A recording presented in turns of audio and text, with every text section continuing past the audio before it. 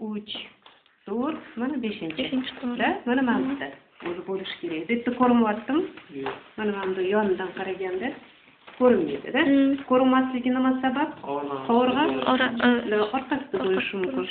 shuning uchun biz nima qilamiz qo'lni mana bunaqa qo'yib asosiga barmoqni qo'ltiq ostiga anteriorga anteriorga mana bunaqa qovurg'a oraliqlarga qo'yib chiqamiz diafragmani holatiga bog'liq bo'lib yo yuqoriga ko'tarilishi mumkin yo Pastga tushishi mumkin. bunaqa qo'yilib bunaqa qo'yilib paypaslab kelamizda Mm.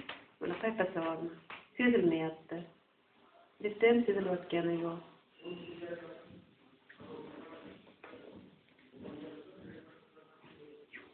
Hmm, bitta sezildi. Sezilgan joyiga endi mana bunaqasi qilib qolmasdan turib uch Да. uch to'rt o'sha ikki uch to'rtta to'rt barmoq barmoqni qovurg'alarga parallel ravishda qo'yib uni xususiyatlarini aniqlaymiz. Birinchidan bu lokalizatsiyasi значит liniya bir yarim ichkarida Ichkarida. ikkinchidan uni maydoni mana bu ikkita barmoqni tagida Hmm. normada ikki santimetr. Ikki santimetr. Ikki musbat mantiyligi bu yerda qo'lga shu urilayotgani sezilyapti shu qanaqa положительныйda так keyingisi nima oxirida kuchi balandligi. kuchi balandligidan kelib chiqadi. Bitta sog'lom odamda o'rtacha balandligi o'rtacha kuchi rezistentligi ham o'rtacha. Patologiyada past bo'ladi yoki baland bo'ladi. Mm. bu nimaga bog'liq chap qorinchani gipotrofiyasiga bog'liq. так endi shu yoqda biza. Mana bundoq qo'lni qo'yib aniqlaymiz shu xirillash Simptom. zotiy tilda nima edi У нас такі думки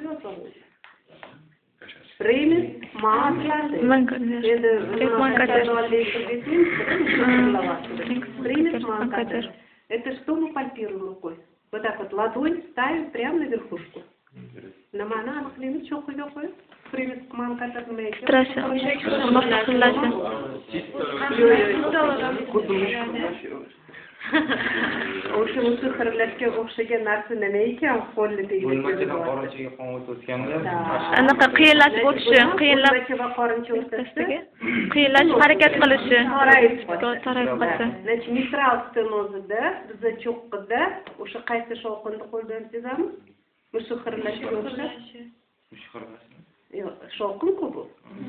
O'sha torayib qolganda bo'lmachadan qorinchaga diastole paytida qon qiynalib qiynalib o'tganda harakat qiladi. Diastolik shovqinni qo'l bilan sezamiz Mm. mana shunda qo'yganda kafti mana shunda cho'qqiga qo'yganda xuddi mana shu kaftingizni bir narsa qitiqlayotganga o'xshagan bo'ladi. O'sha kim uyda mushuk bo'lsa xirganda qo'lni qo'ysangiz xuddi shunaqa ощущение bo'ladi. Mm. значит это мы с вами пальпируем диастолический шум. Мы просто его назвали вот когда автор писал книгу наверное кошка рядом лежала поставил руку и думаю такое же ощущение у больного было сравнил чтобы было вам понятно да значит это мы пальпируем диастолический шум Значит, чем больше отверстие сужено, тем труднее кровь поступает из левого предсердия левый желудочек. Тем четко будет манката. Mm. Значит, не у всех больных будет кошачье мурлыканье с митральным стенозом. Agarda biroz salgina teshik toraygan bo'lsa uni biza shovqinni faqat qayerda ko'p eshitib ko'ramiz qancha ko'p toraygan bo'lsa shuncha yaxshi Eshitiladi. cho'qqida bu diastolik shovqin mitral stenozida yurak asosi qayerda joylashgan это верхушка. Основание ikkinchi qovurg'a oralig'ida birinchi mana bu ikkinchi qovurg'a oralig'i значит o'ng tomonda bu yerda nima aorta. Aorta, o'pka arteriyasi. значит aortani ustiga ikkinchi qovurg'a oraliqqa mana bundoq qo'yganda bu yerda ham mushuk xirillashi simptom bo'ladi. Bu qaysi shovqindir qaysi kasallikda qo'l bilan sezamiz Orta aorta. og'zida to'rayganda qaysi shovqin Sistolik. sistola paytida chap qorinchani sistolasida aortaga qiynalib qon o'tadi завихрение bo'ladi o'shani biz sezamiz bu ham qanchalik torayganiga bog'liq. Aorta og'zi agarda ko'p toraysa o'sha xirillashi bo'ladi. Значит здесь систолический шум пальпируем точно так же во втором межреберье слева при стенозе устья легочной артерии тоже будет систолический шум значит asosda sistolik shoxi cho'qqida diastolik diastolik cho'q hammasi ham o'sha og'zi sorayganda qon qiynalib o'tganda shovqinlarni Охуенно. qo'lda sezamiz это понятно? То есть сегодняшнюю тему переходим сегодня у нас какая тема? Перкуссия. Значит, граница относительная абсолютной сердечной тупости, ширина сосудистого пучка, поперечник сердца и конфигурация сердца. Далее будем определять. Eng birinchi qadam qanaqa ekan? Birinchi nimani o'ng tomonni o'ng tomondan o'ng tomondan parallel ravishda qo'yilib, birinchi oralig'iga keyin jigar nechta chegarasi bor? to'rtta chegarasi Nimaga to'rtta? To'rtinchi qaysi ekan? uchta uchta chegara uchta chegara bor o'ng o'ng chap yuqori yuqori tomondan. Eng birinchi aniqlaymiz. o'ng tomondan Da. Endi yurakni o'ng chegarasini aniqlash uchun mana shu birinchi qadamimiz umrosiyaga parallel ravishda birinchi qovurg'a oraliqda liniya mezik bo'yicha o'pkani pastki chegarasini nima uchun aniqlaymiz? Nimaga bu kerak? Yurak chegarasini aniqlash uchun. Chunki aniqdan bug' bug'gacha Yo'q, jigar bo'lgani jigar jigar kengligini Ano, balki bu tomonga o'tib qolgan bo'lishi Нет, ну-ка, Iskandar, nima uchun ekan? bir xonada Unda unda teskari qilib perkussiyani. Anomaliyani palpatsiya bilan aniqlab olasiz, osмотр bilan. Ну, самое главное. kengligini Высоту состояние диафрагмы. Diafragma yuqori joylashgan bo'lsa, yuragingiz qanaqa? Gorizontal Gorizontal joylashadi. Agarda Pastda- diafragma pastda bo'lsa vertikal. капельная Мгм. сидячая, да? Тогда у нас будет это норма. Bugungi darsimiz faqat normada. Patologiyada keyingi darsda man ko'rayman kana nimani beraman sizlarga tablitsalarni patologiyada chegaralar o'zgarishini. Сегодня только норма. Значит, sog'lom odamda bizda liniya mediklavicularis bo'yicha o'pkani pastki chegarasi qayerda joylashgan? Oltinchi. Oltinchi qovurg'a. Oralig'imiz qovurg'ani usti. Mana aniq o'pka tovushi Buni oraliq qiladi. Mm. Bo'g'iq bo'lyapti, jigar Yerga usti. qo'yamiz. yerga qo'yib keyin Bu bir oltinchi qovurg'a. qovurg'a Mana bu bir, ikki, uch, mana qovurg'ani ustida to'rt, bu besh, bu olti. Endi oltinchi qovurg'adan bitta qovurg'aga tepaga yuqoriga ko'tariladi Mana bu beshinchi qovurg'a. qovurg'a Qovurg'ani ustidan perkussiya qilinmaydi, shuning uchun yana nimaga chiqamiz? Oraliq. Oraliqqa chiqamiz. Oraliq. Mana bu oraliq nechinchi bo'ladi? to'rtinchi o'ng tomondan to'rtinchi oraliq. To'rtinchi qovurg'a qovurg'aga oraliqda perpendikulyar ravishda parallel. Qovurg'aga parallel to'shchaga parallel Не, не надо. Зачем лишние фразы запоминать? Kerak emas parallel. kerak narsalarni eslab qolinglar. Значит, bitta qovurg'a yuqoriga chiqamiz. Qovurg'ani ustida perkussiya qilib bo'lmaydi. Shuning uchun oraliqqa chiqamiz. Bu to'rtinchi qovurg'a oraliq. To'shchaga parallel ravishda trisimetr qo'yilib, aniq tovushdan Bo'g'iq tovushgacha. Bo'g'iq emas. Qanaqa tovush? Bo'g'roq tovushga. Bo'g'roq. Давайте притупление тупой запомним. Mm. Bo'g'iq esdan chiqib qoladi. Давайте на русском два слова выучите. Притупление тупой. Вот от ясного легочного звука до притупления. Мелкими шагами. Что значит мелкими шагами? Majul qadamlar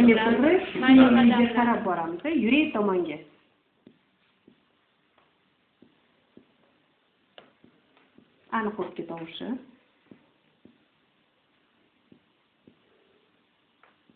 Bo'g'lash. Так, ana синий фломастер olib bering. Bularga bering, bittasiga. Rasmga olasiz. Так. Значит, aniq bo'lgan joyga belgi qo'yamiz-da. aniq chegarasidan Так, вот сюда, потому что здесь очень толстый у нас этот.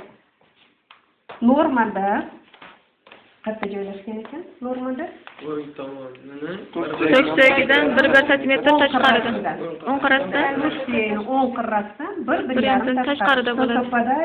Нормой. Mm. Так, теперь определяем левую границу. Левая граница совпадает с чем?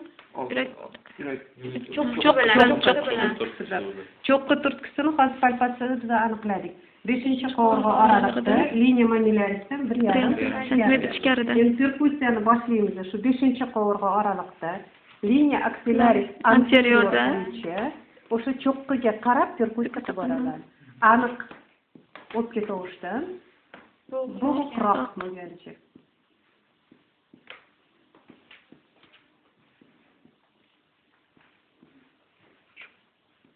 Прикуш, да? Mm. Чуть-чуть еще. Вот, притупление. Так, давайте эту. Значит, ramzga belgi qo'yamiz значит normada qayerda joylashgan ekan Медика Дине мамиляра медика юкуляриста. Барбарианта метричкярда. Норма чистама совпадает. Теперь определяем верхнюю границу. Юкорода? Yukarıda. Kaçtan başlayayım? Sizlerden bugün şu teması. Пальпация на следах. Так. Ну, давайте. Верхнюю границу как я определяю? Юкорода. yuqoridan qarasa oldi chizig'ida так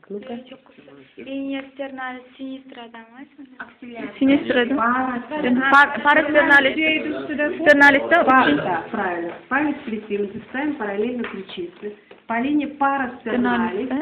bitta qoida buziladi turkusiyani qoidasi buzilar ekan qanaqa ekan iskandar qaysi qoidasi buziladi bu yerda yo'q. To'g'ri. Biza shu paytgacha perkussiya qilganda faqat oraliqda edi. bu yerda qoida buziladi ustidan ustiga. perkussiya qilinadi. Mayda qadamda aniqdan bo'g'lashgancha normada uchinchi qo'l oldin topaylik?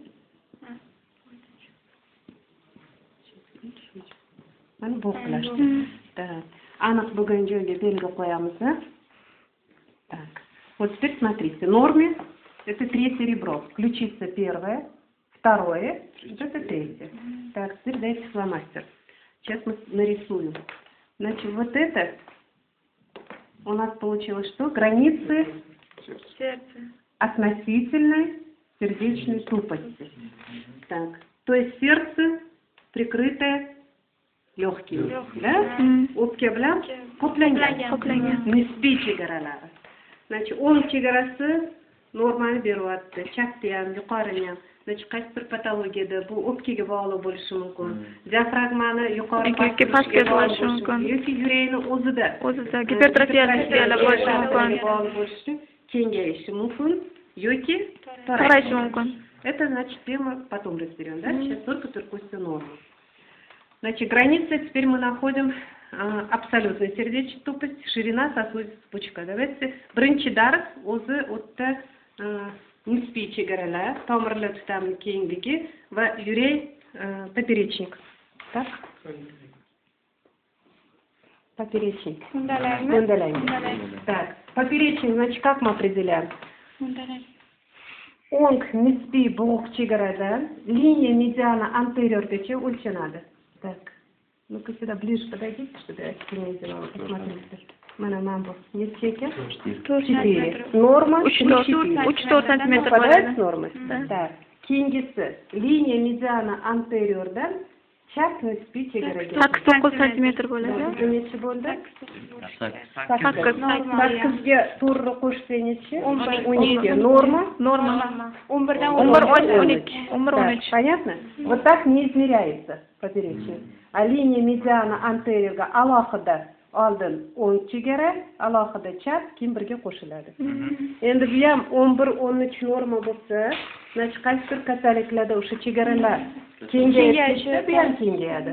Chegaralar naоборот ichiga kirib bu ham. Ну, masalan, o'pka kasalligida o'sha emfizemada nima bo'ladi? O'pka nima bo'ladi? Kichrayib ketadi. Homiladorlik, assit bo'lsa, meteorizm bo'lsa. diafragma ko'tariladi. ko'tariladi. Endi ko'proq bizada qiziqtiradi o'sha nima yurak kasalliklari. Mitral hozir biz aytdik, mitral teshigi toraysa og'zi, bizada mushuk xirillashi bo'ladi. Значит, mushuk xirillashi bo'lsa, chap bo'lmachadan chap qorinchiga qon qiynalib qiynalib o'tadi Chap qorinchida qon kam bo'lgani uchun он сокращается как бы холостую, впустую. Поэтому левый у нас немножечко будет что атрофироваться. А chap bo'lmacha kengayadi-ku, bu yuqoriga chiqadi va o'ng qorincha gipertrofiyaga uchraydi. Ortal nuqsonlarda bizada judayam chap qorincha kengayib ketadi. O'sha e, chapga pastga siljishi mumkinda oltinchi qovurg'a oraliqda liniya mediklavikularisda ikki santimetr tashqari yoki yettinchi qovurg'a oraliqda aksillaris anteriorgacha kengayib ketishi mumkin chap qorincha. Gipertrofiya deydi. Uch tabaqali klapanlar yetishmovchiligida yoki uch tabaqali klapanlar og'zi torayganda bizada ko'proq o'ng O'ng tomonga. chegaralar silkinadi так endi tomirlar tutamini kengligi ikkinchi qovurg'a oraliqda mana bu birinchi qovurg'a oraliq bu ikkinchi qovurg'a oraliqda liniya mediklavikularisga qo'yib suyagi parallel ravishda aniq o'tib ketaverishda bo'g'lashgancha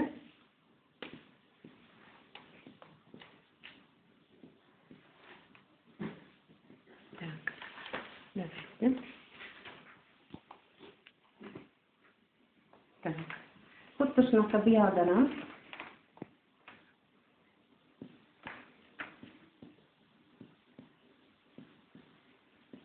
mayda qadamda bo'g'ilashguncha bir ko'chib boramiz normada tomirlar chiqamini kengligi besh olti besh olti santimetr santimetr tush suyagini ikkita qirrasini bitta qirq chetiga to'g'ri keladi сколько? Так, подождите. To'g'ri qo'yyapmanmi? Nechi bo'ldi? Olti. Normal. Normada Besh Besh olti olti. besh olti Значит, tomirlar sistemi kengligi e, torayib ketishi o'sha kapelniy висячее сердце bo'lsa yoki infuziya bilan qoplangan bo'lsa torayadi. Agarda anevrizma aorta yoki тронкус пульмонарис bo'lsa kengayadi. Kengayib ketadi. Так. Теперь мы определим с вами границы абсолютной сердечной тупости. Чтобы определить границы абсолютной сердечной тупости, значит, o'ng chegara qanaqa aniqlanar ekan? Mutlaq bo'g'ib. mutlaq bo'g'iq liniya mobillashtirishi nisbiy bo'g'iqlikdan ichkariga tomon perkussiya qilinadi Topilgan nisbiyda Nisbiydan ichkariga. Смотрите. Значит, o'pkani ustida perkussiya qilinadi o'rta kuchda, nisbiy chegarada past kuchda, mutlaq bo'g'ib juda past kuchda. Mana shu topilgan nisbiyga barmoq qo'yilib, yurak tomonga to'rtinchi qovurg'a oraliqda perkussiya qilib boriladi. Bo'g'iqroq tovushda mutlaq bo'g'iq tovushgacha Ближе подойдите, чтобы слышать.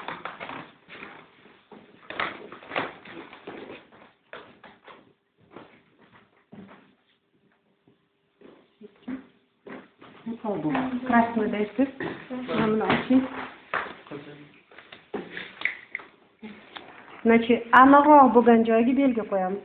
Bo'g'roq endi mutlaq bo'g'dan aniqroq, o'shaning uchun u tarafga belgi qo'yiladi. Так, normada qayerda ekan? parasternalис to'sh suyagining tush chap qirrasi to'g'ri keladi qirrasi tush suyagida mana qirrasi chap совпадает с нормой. Так левую границу как определяем?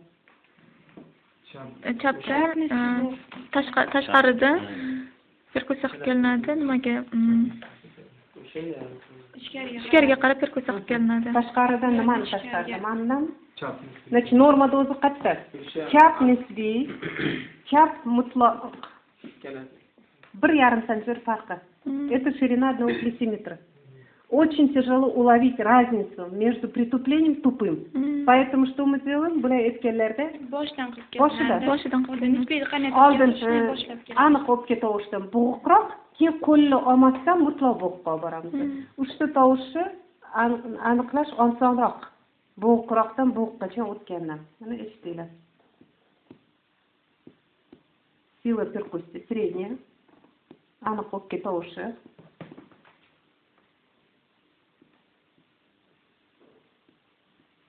mana bu Mm. mana man bilan solishtirib ko'ringlar Mm, endi mana shu bo'g'lashgandan to mutlaq bo'g'iq bo'lgancha yurak tomonga mayda qadamda perkussiya qilamiz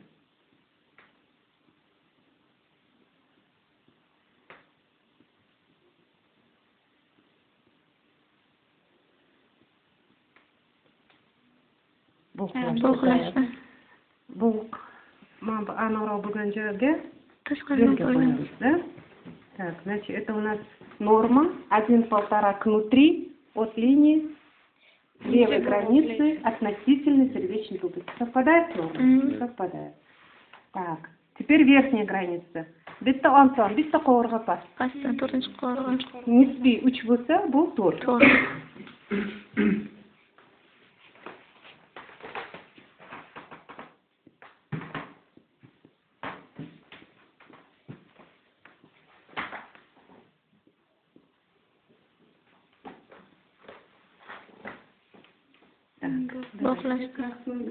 Да, красный.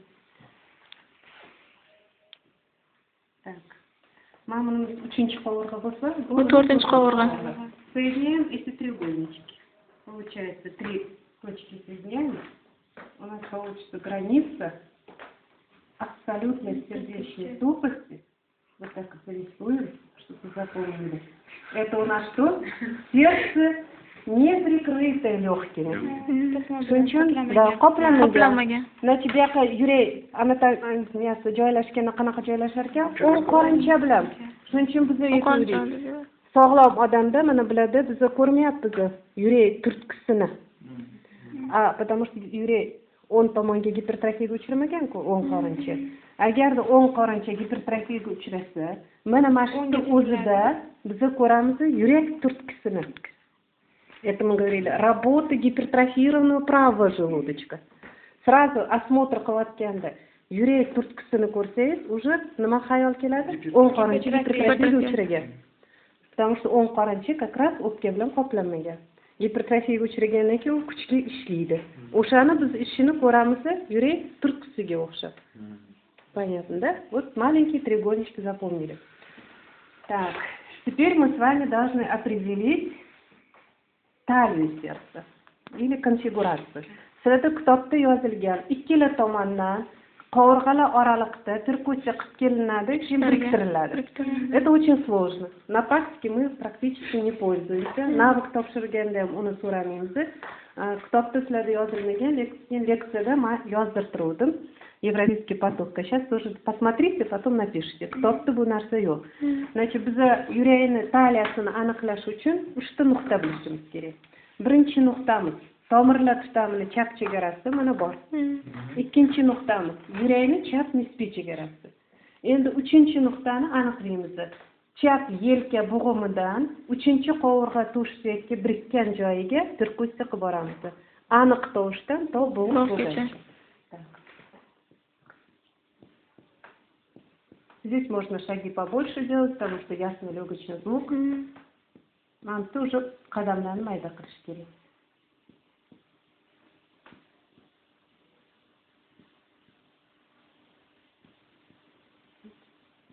Бухмаши. А, синий дайте. Так. Енді мына бұл үш дана да біріктірамыз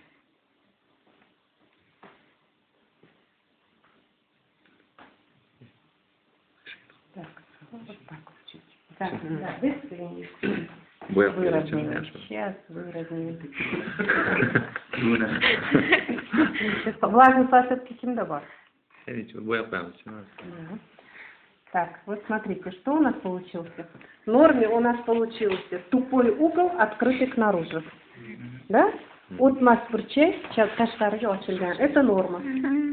Запомнили. Чтобы определить талию сердца, нам нужно три точки. Левая граница ширины сосудистого пучка, левая граница относительно сердечной тупости, третья находится перкутируем от левого плечевого сустава к месту прикрепления третьего ребра грудини до появления притупления. Соединяем три точки, получился тупой угол, открытый к наружу. При митральных пороках. O'sha mitral klapan yetishmovchiligida bizada chap bo'lmacha bilan chap qorincha gipertrofiyaga uchraydi gipertrofiyaga uchragandan keyin mana bu uchinchi nuqtamiz mana bu yoqda bo'ladi bu yuqori bo'ladi bu bu yoqda bo'ladi biriktirsak to'g'ri chiziq bo'ladi значит сердце нейтральная конфигурация. Талия сердца сглажена да tekislangan neytral konfiguratsiya aorta Aortada bo'lsa? manskacha tushib ketadi-ku bizda aytildida ko'zdan kechirganda yurak cho'qqisini pastga chapga siljigan maydoni keng э, положительный приподнимающийся куполообразный да? Уже при осмотре сколько мы видим данных.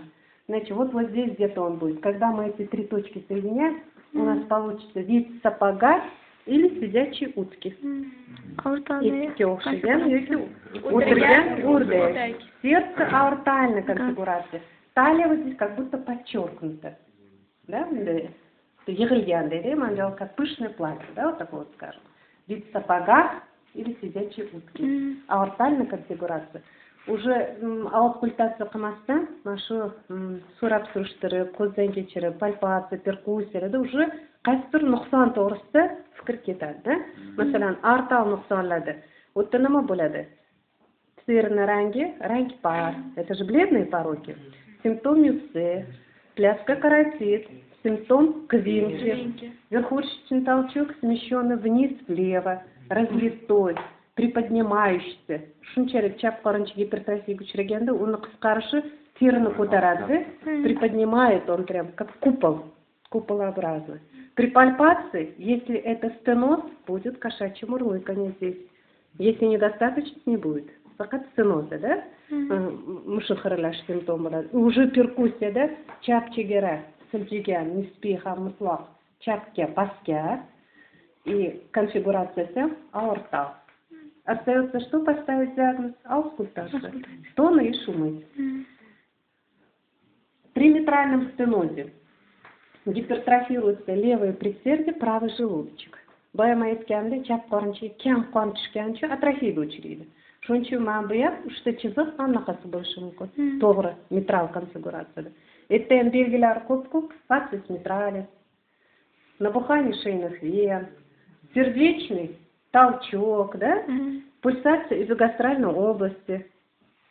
Katta qonalash doirasida dimlanish kelib chiqqan bo'lsa уже qancha yana shikoyatlari bo'ladi qorin kattalashishiga zo'riyoz kamayib ketishiga shishlar bo'lishiga og'irlik sezishigada jigar kattalashida практика. Значит, мы должны с вами что научиться? Клинически мыслить.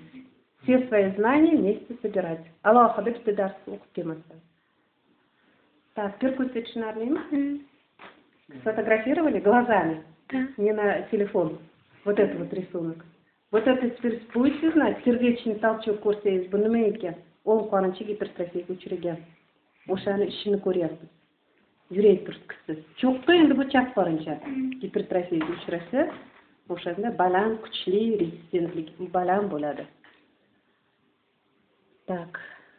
Ну в принципе если комбинированные пороки сердца сочетанные пороки сердца например ham mitral klapan yetishmovchiligi ham stenoz bo'lishi mumkin stenoz bo'lganda uch tabaqali klapan yetishmovchiligi qo'shiladi o'ng qorincha shunchalik kengayib ketadiki uch tabaqali klapan yetmay qoladi bu yerda уже nechta bo'ladi uchta porok да bu yerda yurak chegarasi hamma yoqqa kengayib ketadi yoki hamma aortal poroklar neutralizatsiyaga uchraydi chap qorincha mana kattalashib kengayib ketgandan keyin ikki tabaqali klapan nima bo'ladi yetmay qoladi значит bunga nima qo'shilar ekan mitral klapan yetishmovchilik то есть происходит нейтрализация аортальных пороков Митральному присоединяется аортальный, потом присоединяется трикуспидальный, и получается больной поступает с пятью пороками. Когда можно будет bitta порок bo'lganda o'sha revmatizm bilan birlamchi remokarditni vaqtida diagnoz qo'yib davolasa shunchalik asoratlari kelib chiqmaydi так если все понятно то пожалуйста давайте перкутируем ko'rsatinglar keling значит oprosda nima so'rayman yurakni manga aniqlab bering o'n mutloq chegarasini. Значит o'shanda nima qilasiz? Birinchi qadam yerdan boshlaysiz.